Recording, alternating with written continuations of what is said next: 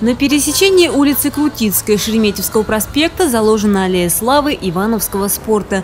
Число деревьев символическое – 22, ровно по количеству проведенных зимних Олимпийских игр. Как только стало известно, что Иваново включен в список городов, где пройдет эстафета Олимпийского огня, у меня сразу возникла идея, давайте соберемся ветеранами, обсудим этот вопрос и какой-то сделаем ну, небольшой подарок вот такому событию.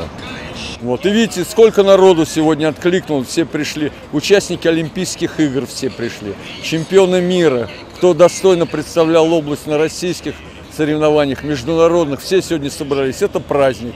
Наши спортсмены в разные годы неоднократно участвовали и побеждали в состязаниях мирового уровня. Ивановская земля воспитала 23 олимпийца, которые завоевали 5 золотых, 6 серебряных и 2 бронзовых медали.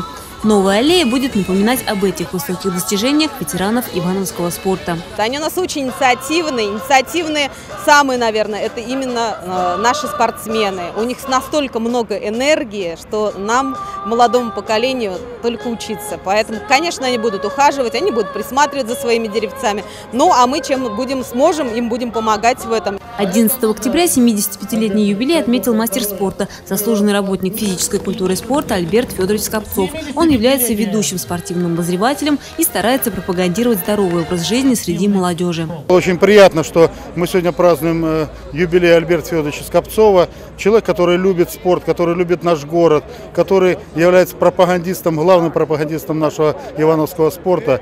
И то, что он не просто сам спортсмен, он еще э, удивительный тренер. Он много воспитал ребят ребят.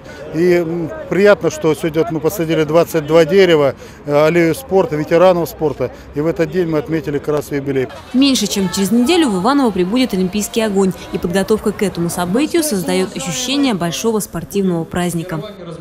Любовь Почерникова, Олег Милехин, РТВ Иваново.